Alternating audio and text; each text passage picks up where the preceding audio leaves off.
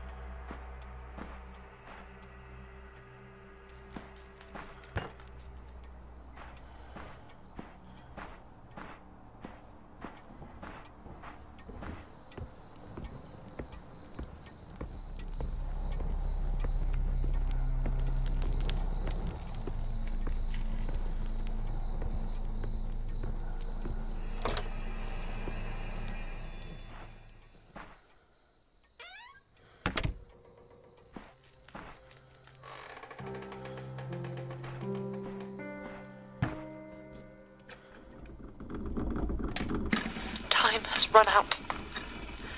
Father intends to use his grand harmonium, the machine he has devised tonight, to use the recorded song of that lamentable creature on the household and staff.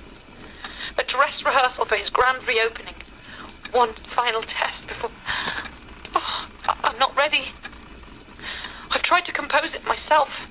Tried until my fingers bled on the keys and my voice cracked. But at last, two composers of the countersong have arrived at the hotel. I must speak with them before the dress rehearsal. I can only pray that this will be enough. I could leave still, slip away. I've thought about it again and again in recent days, but that would only be condemning the others to my father's experiments. No. I must face our family's sins. And if I must, shall pay the price. Oh, I wish it were not so. I wish I did not have to face this alone, as I fear my strength and resolve might fail. Thomas, where are you? I need you now more than ever, my love.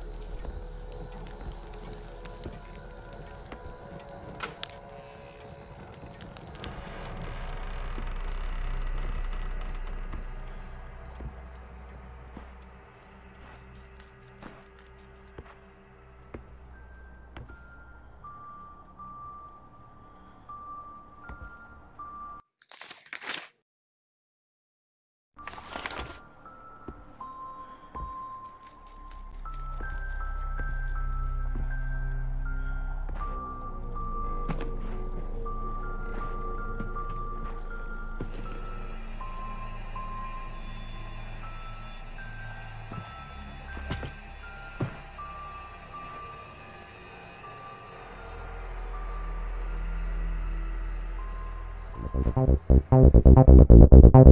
you.